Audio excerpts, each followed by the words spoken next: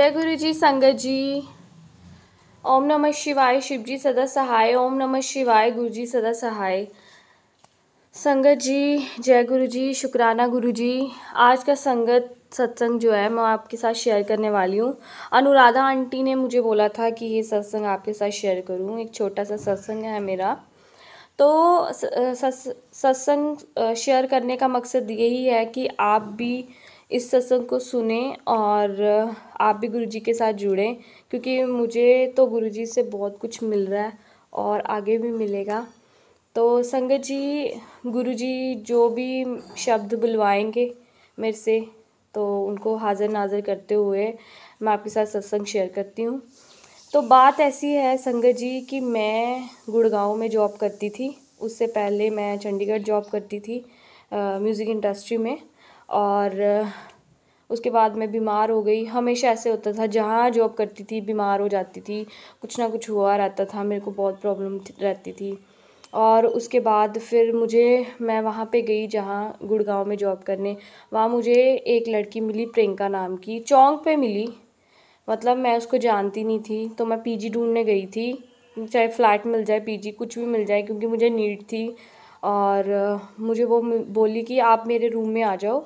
एक बार देख लो मेरा फ़्लैट भी। तो मैंने कहा, चलो, चलती हूँ। देखा, फिर उसने बोला, यहाँ पे ना साइड पे फ्लैट्स हैं तो आप वो भी देख लो। तो मैंने कहा, ठीक है। तो मैं उसके साथ चल पड़ी। मैंने देखा, उसके रूम में इतने तो बड़े बड़े गुरु के स्वरूप लगे हुए थे और उनके चरण स्वरूप भी थे। तो मैं, मैंने कहा, यार, ये गुरु जी यहाँ भी दिख गए। क्योंकि उससे पहले ही गुरु जी ये गुरु जी मुझे काफ़ी जगह दिख रहे थे।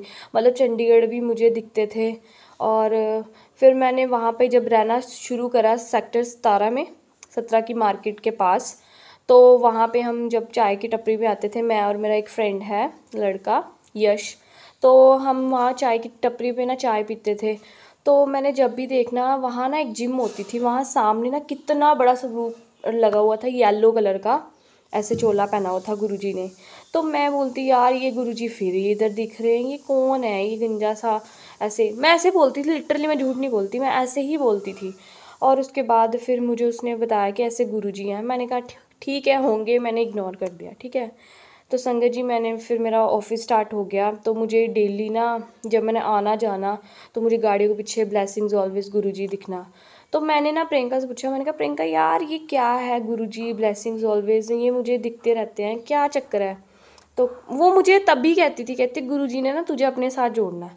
और मैं इग्नोर करती थी, मैं यार, मैं नहीं, बाबो बुब्बो को मानती, क्योंकि मैं वैष्णो माता को बहुत मानती हूँ और बाबा वाली माता को मानती हूँ, है तो सारी एक ही, लेकिन मैं माता की भक्त हूँ। मैंने, मुझे था कि मैं माता की सिवा किसी को नहीं भोले शंकर को मैं मानती हूँ, ऐसी बात नहीं है। लेकिन मेरे को माँ के साथ ना एक अलग ही प्यार है मेरा। तो मैंने कहा, मैं उनके अलावा किसी और को नहीं मान सकती। तो वो कहती, नहीं, गुरुजी ने तुझे अपने साथ जोड़ना तो मैंने कहा, यार, पता नहीं है, होगा ऐसे। मैं इग्नोर कर देती थी। रोज़ ऐसे महीना, दो महीना ऐसे सिलसिला शुरू हुआ आना जाना ऑफ़िस में तो मुझे दूर पड़ता था। तो फिर मैंने ना फ्लैट से पीजी में शिफ्ट कर लिया। सत्रह से sector fifty seven Sushant Lok वाली साइड हांगकॉन्ग मार्केट वाली साइड मैंने शिफ्ट कर लिया। तो वहाँ पे ना मेरे साथ वाले रूम में एक लड़की थी ईशी वो मेरी काफ़ी अच्छी फ्रेंड है, अभी भी है। तो वो भी गुरु जी को मानती थी। तो मैंने देखा, एक दिन ना उसने अपने फ़ोन के पीछे सब रूप डाला। मैंने कहा, यार तुम, तुझे पता है ये ब्लेसिंग्स क्या यार, मुझे ये गाड़ियाँ बहुत दिखती है। क्योंकि मैं जब भी ऑफ़िस आती मुझे यही दिखता था। तो कह रही कि ना, ये गुरु जी हैं। कह रही, देख, मेरे पास भी हैं। तो उसने अपने फ़ोन से ना स्वरूप रूप दिखाया मुझे। मैंने कहा हाँ यही गंजे वाले कहती, नहीं, ऐसे नहीं बोलते, ये गंजा नहीं बोलते इनको। तो मैंने कहा, यार, पता नहीं कौन है ये बार बार मुझे दिखते रहते हैं। चलो, उसके बाद ना मैं घर आई छुट्टी के लिए, थोड़े दिन के लिए। वैसे तो मुझे छुट्टी देते नहीं थे ऑफ़िस वाले। तो मैं घर आई। घर पे ना मुझे गुरुजी ने मेरे घर के रूम में, पापा के रूम में मैं सोई थी। वहाँ मुझे दर्शन दिया, ऐसे वाइट कलर के चोले में ऐसे बड़े से थे, सब रूप में, खड़े सब रूप में उन्होंने दर्शन दिए। और उस टाइम मुझे रोज़ की इतनी ज़्यादा फ्रेगनेंस आई तो मुझे समझ नहीं थी। मैंने ये बात छुपाई, किसी को नहीं बताई। ठीक है? तो मैंने अपने मन में रखी बात। मैंने कहा, ऐसे ही आया होगा कि मैं मैं ऐसे देखती रहती हूँ वहाँ पे गुड़गांव में, गुरुजी दिखते रहते हैं बार बार तो हो सकता है इसलिए मैं, मेरे मन का बहम होगा। तो संगत जी, मैंने इग्नोर कर दिया। मैं अपने ऑफ़िस चली गई वापस गुड़गांव घर से, पठानकोट से। और उसके बाद मेरा चलता रहा जैसे ऑफ़िस में। मेरे ऑफ़िस में बहुत सारी प्रॉब्लम आ गई कॉम्प्लिकेशंस आ गई, इतनी ज़्यादा दिक्कतें आ गई, मुझे ना जॉब छोड़नी पड़ेगी। तो मैं घर पे आ गई। तो जून में मुझे ना दो साल हो गए घर पे आए हुए। मैं इतनी परेशान हूँ। मैं अभी भी इतनी परेशान थी ना मतलब अभी तो चलो रास्ते खुलने शुरू हो गए हैं, बहुत हद तक चीज़ें ठीक होनी शुरू हो गई हैं, लेकिन मैं इतनी ज़्यादा परेशान थी संगत जी। इतना कुछ हुआ ना मेरे घर पे, मैं बता भी नहीं सकती, इतना पर्सनल चीज़ें हैं, मैं शेयर नहीं कर सकती। लेकिन मैं आपको बताती हूँ कि उन्होंने मेरे को कैसे निकाला इन सब चीज़ों से। मेरे को ऐसे होता था कि अभी मैं बस चीज़ें ख़त्म हो जाएँगी मतलब जीने का मन नहीं करता था, इतनी ज़्यादा कॉम्प्लिकेशंस आ गई, क्योंकि जॉब में इतना अच्छा कमा रही थी, इतनी अच्छी सैलरी पैकेज था मेरा। एकदम से वो छूट गया। घर वाले मुझे बोलने लग पड़े, फिर शादी का प्रेशर डालने लग पड़े रिश्तेदार आके, मम्मी पापा को। फिर मम्मी पापा मेरे को बोलने शुरू कर दिया कि ऐसे ऐसे। ऐसे तो फिर संगत जी, बात अब यहाँ से शुरू होती है 2024 की। अभी अभी की बात है रिसेंट जनवरी की। तो मैंने गुरुजी को मतलब 25 जनवरी से मानना शुरू किया। वो मैं आपको बताती कैसे तो मेरे लिए जैन में रिश्ता आया एक और उसके उसके बाद नहीं, मैंने ना पच्चीस फरवरी से मारना शुरू किया हाँ उनको, पच्चीस फरवरी से आई थिंक हम्म। तो तो ना उस, मेरे लिए एक रिश्ता आता है तो वो ना बाहर का लड़का था तो संगत जी वो जागरण वगैरह को नहीं मानते। और जैसे मैंने बताया, मैं गुरु जी गुरु जी को तो मैंने अभी मानना शुरू किया है। उससे पहले मैं अपनी माँ को मानती हूँ, वैष्णो माँ को। तो वो कहते हैं, हम जागरण को नहीं मानते। ये पता नहीं है क्या होता है। ऐसे लड़के का पापा बोला, ऐसे। तो मैंने बोला कि, यार, मैं तो मतलब रह नहीं सकती इन सब चीज़ों के बिना। मैं तो मानती हूँ इन सब चीज़ों को। ये नहीं मानेंगे तो मैं कैसे आगे, मेरा तो बहुत सर्कल ख़राब हो जाएगा। और दूसरा, मेरे को तो शादी में इंटरेस्ट भी नहीं है और मेरे मम्मी पापा कहते हैं कि नहीं, लड़कियों को नहीं रखना, घर पे ये है, वो बहुत सारी चीज़ें होनी शुरू हो गई। मेरे पापा ने खाना पीना बंद कर दिया कि नहीं, ये रिश्ता करना ही करना करना ही करना। तो मैंने मना कर दिया कि मुझे सही नहीं लगा तो मैंने मना कर दिया। मैंने कहा, मैं नहीं करूँगी, मेरे को अभी नहीं है सब चीज़ों में। तो चलो फिर उसके बाद ना बीस दिन हो गए, पच्चीस दिन हो गए संगत जी, मेरे पापा ने खाना पीना बिल्कुल ही बंद कर दिया घर पे। मम्मा रोज़ पूछते थे, खाना खाना खाना। ऐसे ही चलता रहा चलता रहा। फिर मुझे ना गुरु जी ना इंस्टाग्राम और फेसबुक पे सॉरी उस पर यूट्यूब पे दिखने शुरू हो गए। और उन्होंने बोला, मैं तेरे नाल आ, तू चिंता ना कर, ये वो। मैंने कहा, यार, ये गुरु जी तब भी मुझे दिख रहे थे, अब भी दिख रहे हैं, ये चक्कर क्या, ये गुरु जी है कौन? फिर मेरे अंदर ना ऐसा, ऐसी तड़प मची ना कि नहीं यार, मुझे पता करना है, ये गुरु जी है कौन? मैं पता करके रहूँगी अब। तो संगत जी, मैंने ना फिर मेरी जो फ्रेंड थी प्रियंका, मैंने उसको फ़ोन करा। मैंने कहा, यार, ये गुरुजी कौन है? मुझे बता। तूने मुझे बोला था, जब मैं पीजी में ऐसे एंटर करा था तेरे रूम में, जब मुझे फ्लैट में सॉरी लेने लगी थी तो तूने गुरुजी के स्वरूप लगाए हुए हैं। चरण स्वरूप भी थे, इतने बड़े, उनकी फ़ोटोज़ भी थे। मुझे बता कि ये कौन है? फिर उसने मुझे बताया। फिर मैंने ईशी को फ़ोन करा। ईशी को मैसेज भी छोड़े व्हाट्सएप पे। मैंने कहा, यार, मुझे बता। तो मैंने कहा मुझे ना ऐसे आ रहा कि जब मैं ना दिसंबर में ही जब मुझे ये मैसेज शो होने शुरू हो गए थे इंस्टाग्राम पे कि मैनू चाय का भोग लगा फ़र्स्ट उसको फ़र्स्ट जैन को न्यू ईयर पे। तो मैंने इग्नोर कर दिया, मैं नहीं मानती बाबू उब्बो को। तो तो फिर ईशी ने मुझे कहा कि तू एक बार चाय का भोग लगा, क्या पता गुरुजी तेरे से चाय का भोग मांग रहे होंगे। तो मैंने कहा, यार, मैं चाय का भोग कैसे लगाऊँ? मेरे पास तो गुरु जी का कोई स्वरूप भी नहीं है। तो कह रही, तू ना फ़ोन पे ही लगवा दे फ़ोटो पे ठीक है? तो संगत जी, मैं, मैंने उनको भोग लगाया, लेकिन ना चाय में चीनी नहीं डाली। पता नहीं गुरु जी की कोई महिमा होगी, मुझे नहीं पता इस चीज़ का। तो संगत जी, मैंने चाय का भोग लगाया उनको मंत्र जाप करके, जय गुरु जी के बोल के तो वो चाय फिर मैंने पी ली। जब मैं पीने लगी, मैंने देखा चाय में तो मीठा ही नहीं डाला वो मैंने। तो मैंने कहा, सॉरी गुरुजी, मेरे को तो पता नहीं था ऐसे। तो मुझे चाय बनाने भी नहीं आती थी। तो मैं इतनी एक्साइटमेंट में चाय बनाई कि मुझे पता ही नहीं चला। मैंने वैसे यूट्यूब से देखा था सारा तो वहाँ पे ही मुझे अनुराधा आंटी का ही यूट्यूब का सारा मिला था।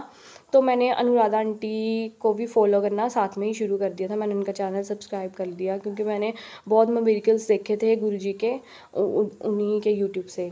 तो वहीं पे मैंने एक टिमसी आंटी हैं अनुराधा आंटी के ही घर के पास रहती हैं तो उनका मैंने सत्संग देखा था तो मैं बहुत इंस्पायर हुई थी उससे। तो उसके बाद मैं इतनी परेशान थी तो मैंने ना फिर, मैं सोच रही थी कि यार ये जल प्रसाद मिल जाए, क्योंकि मेरी हेल्थ भी ठीक नहीं रह रही थी। पहले जॉब चली गई, फिर ऐसे शादी का क्लेश होने लग पड़ा घर पे, और बीमार तो मैं पहले से ही रह रही थी तो मैं बहुत परेशान थी।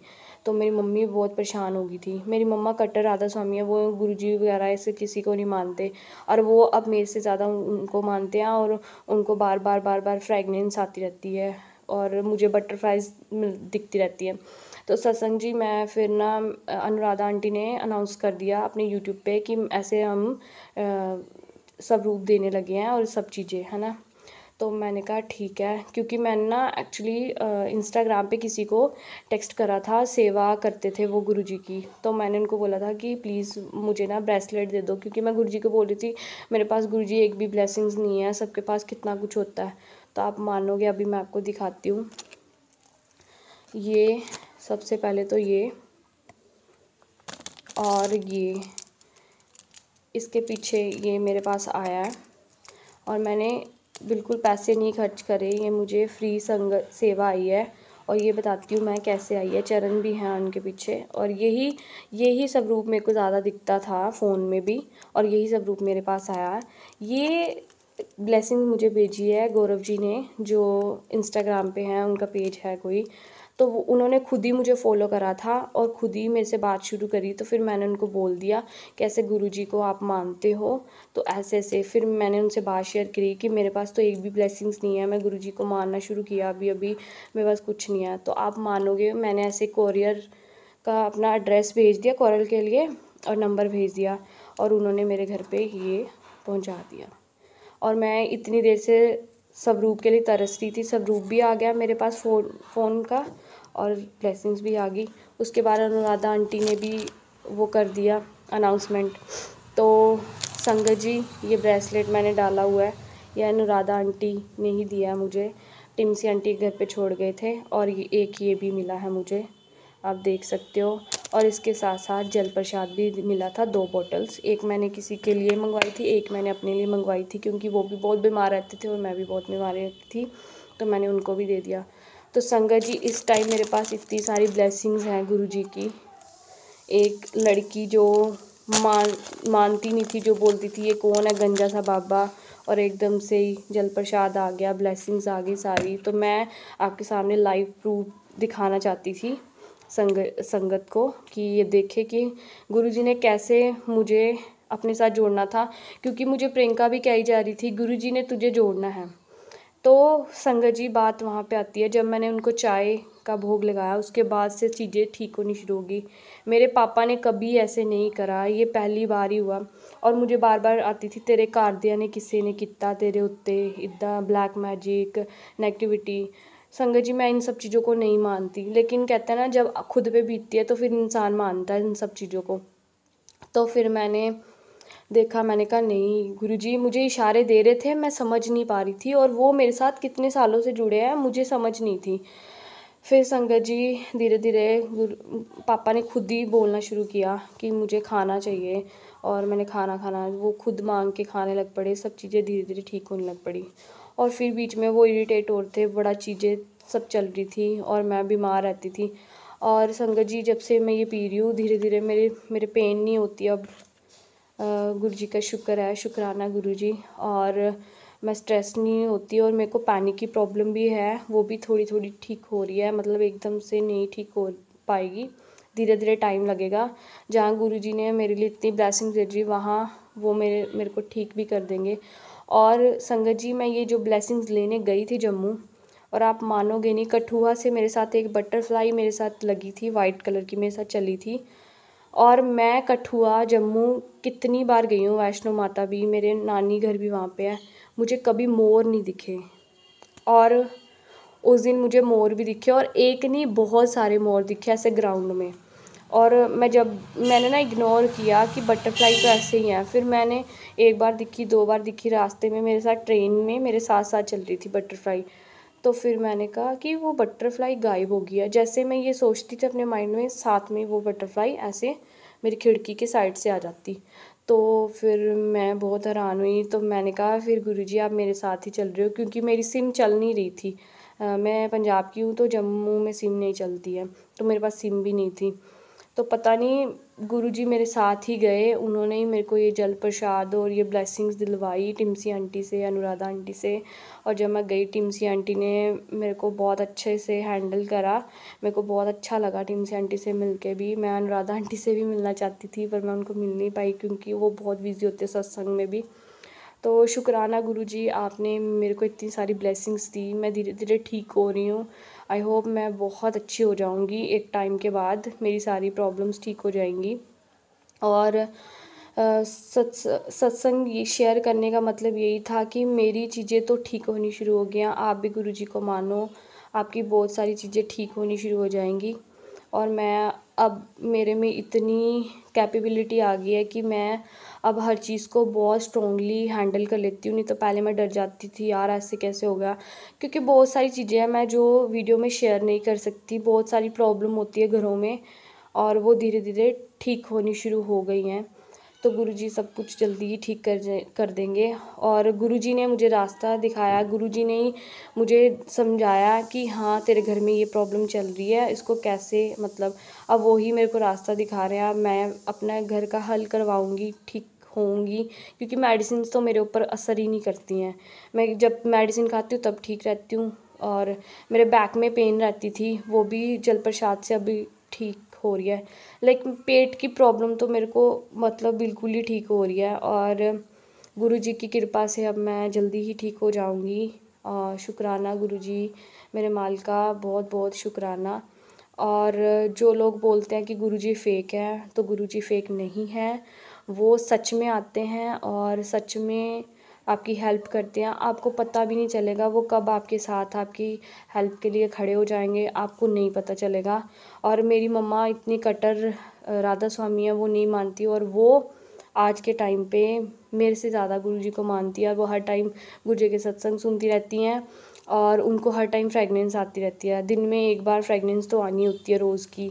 और हमारे घर में कोई ऐसी घर पे रोज़ नहीं है मतलब घर के अंदर रोज़ का ऐसा कुछ नहीं है कि फ्रेगनेंस आए या हमारे पास कोई ऐसा परफ्यूम भी नहीं है रोज़ वाला तो उनको बार बार ऐसे फ्रेगनेंस आती रहती है। तो संगत जी आ, बस आपसे यही रिक्वेस्ट करती हूँ कि प्लीज़ गुरु जी को गलत मत बोलो और अनुराधा आंटी भी आ, सही है अपनी जगह पे टिमसी आंटी भी बहुत अच्छे हैं। और दूसरी बात ये बताना भूल गई कि जब मैं घर आ रही थी ना ये जल प्रसाद लेके और ये ब्लेसिंग्स वगैरह लेके तो आते टाइम भी वो सेम बटरफ्लाई मेरे साथ, टिमसी आंटी के घर के बाहर से शुरू हुई थी मेरे साथ चलना और पूरा यहाँ पंजाब तक मेरे साथ आई थी। तो मुझे समझ आ गई थी कि गुरुजी मेरे साथ चल रहे हैं। वो क्योंकि मैं अकेली गई थी, गुरुजी को पता था मेरी बेटी अकेली गई है, वो मेरे साथ गए थे और मेरे साथ ही आए थे। और थैंक यू गुरु गुरुजी, शुक्राना गुरुजी, अनंतम अनंतम शुक्राना। गुरुजी, आपसे बहुत कुछ मिला है और आगे भी मिलता रहेगा। मैं तो धन्य हो गई हूँ और थैंक यू सो मच और कोई भी मेरी बात आपको बुरी लगी हो तो प्लीज़ उसके लिए सॉरी जय गुरु जी शुक्राना गुरु जी अनंतम अनंतम शुक्राना।